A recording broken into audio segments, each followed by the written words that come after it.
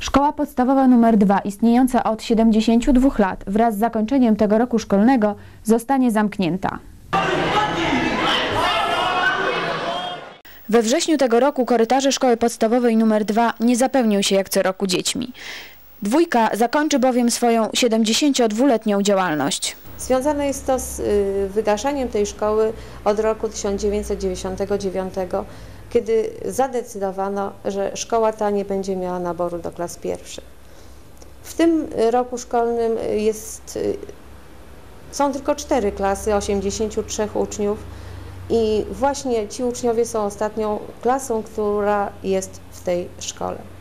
Przez wszystkie lata istnienia szkoły w dwójce pracowało ogółem 126 etatowych nauczycieli i 33 nauczycieli dochodzących, którzy wykształcili około 20 tysięcy absolwentów.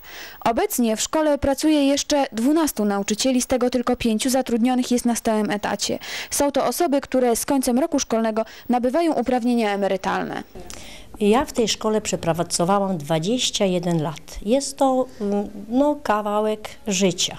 Kiedy zaczynałam pracę, y, plan lekcji sięgał aż gdzieś w to miejsce, a więc pracowało nas tu bardzo dużo nauczycieli i bardzo dużo uczniów liczyła ta szkoła.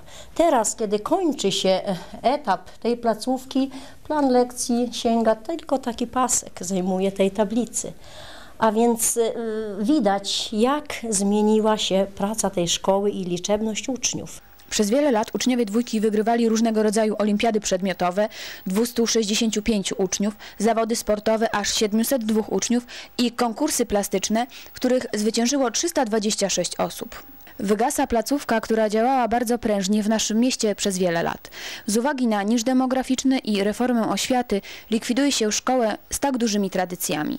Nie rozumieją tego nie tylko pedagodzy, ale i uczniowie. W tej szkole jesteśmy, e, uczymy się 6 lat. E, przywiązaliśmy się bardzo do tej szkoły i trudno będzie nam się z nią rozstać. Bardzo nie chcę, żeby tę szkołę zamknęli, bardzo ją lubię. Tutaj się wychowałem i powinien zostawić.